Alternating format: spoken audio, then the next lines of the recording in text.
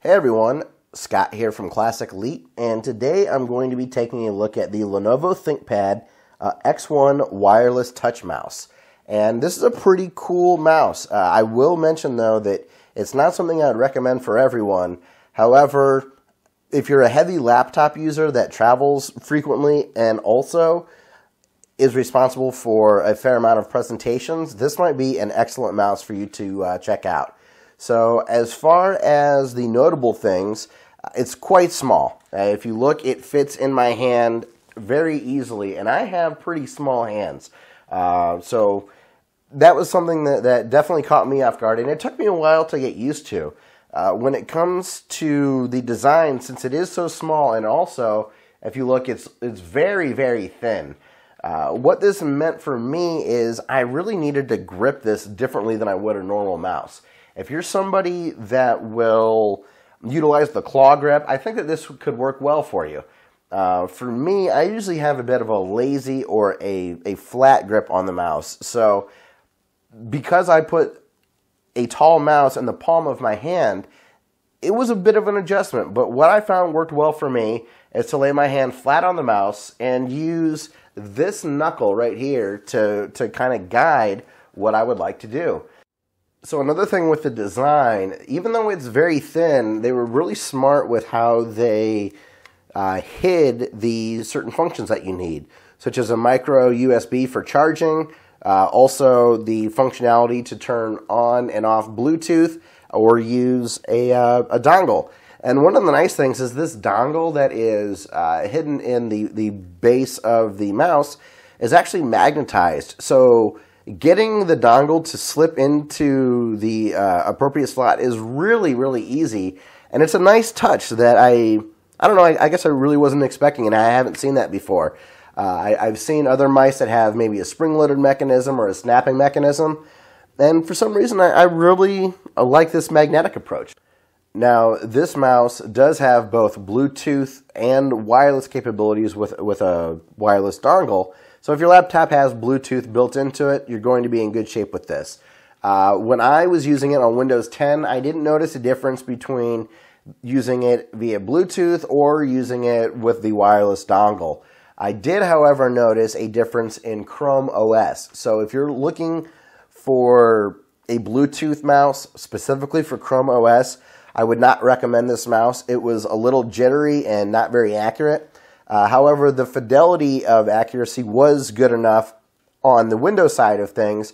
When it comes to web browsing, presentations, maybe some light photo editing, uh, this certainly isn't going to give you the precision that maybe a gaming mouse would or a high-end productivity mouse for maybe an artist or an animator. However, again, for browsing, presentations, uh, a mouse on the go, this worked just fine. When it comes to, when it comes to I've been happy so far. I didn't feel like I was getting warnings that the battery was running dead. Uh, but when I did finally let the battery die all the way, uh, I did want to mention that I was able to get a around a 50% charge, I think, uh, after about 15 minutes of charging, which I thought was quite good. And after the 50% threshold, the battery started taking longer to fill up. Uh, after about 30 minutes of charging from dead, it was about 75% filled, and it took about an hour to get everything back to 100%. Uh, however, since the battery life is pretty good, I think that that's a reasonable amount of charging time. Speaking, speaking, uh, there is a great little LED system that lets you know approximately how much battery is left to go before things are charged. Similar to a battery bank, um, there are four LEDs which approximate whether it's 25 50, 75%, or 100% full. You can't see the LEDs when they're not charging, which is a really nice touch, and it's very subtle when things are charging. Uh, I will mention, though, that one of the big drawbacks is if the mouse is dead, you have to charge it before you can use it again because of the placement of the charging dock. Uh, it probably wouldn't have looked very nice if it was on the back end. However, I might have liked to see a charging port on maybe the back of the mouse so that I could use it if things did die on me.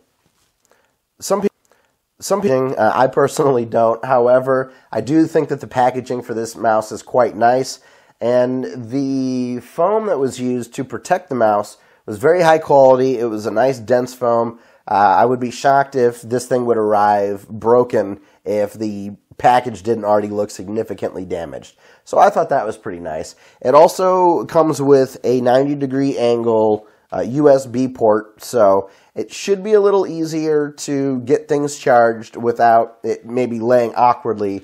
But again, I might have liked to have seen a port on the back, despite that being potentially a little ugly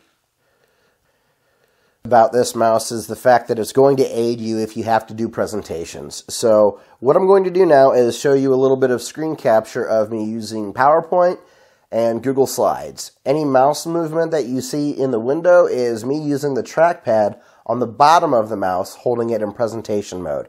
Oh, also, I should mention that you don't need to switch the mouse into any particular mode in order to use it during a presentation. Uh, you can move the mouse normally as you would, flip it over, pick it up, and be able to use the buttons right away and control the mouse. Uh, there are no toggles or anything that you need to mess with, and I certainly think that's a nice touch.